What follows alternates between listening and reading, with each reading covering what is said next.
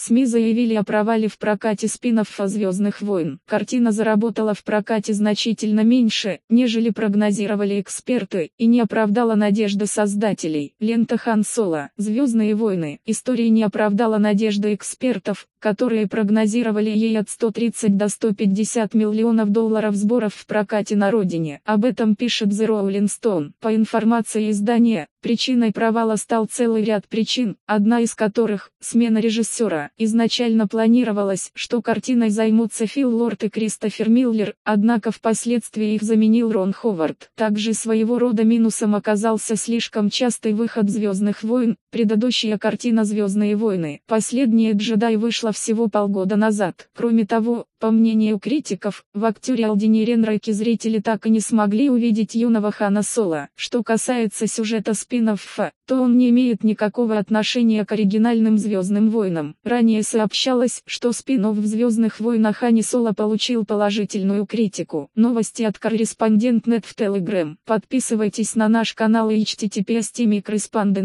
По материалам сайта Newsgro.com.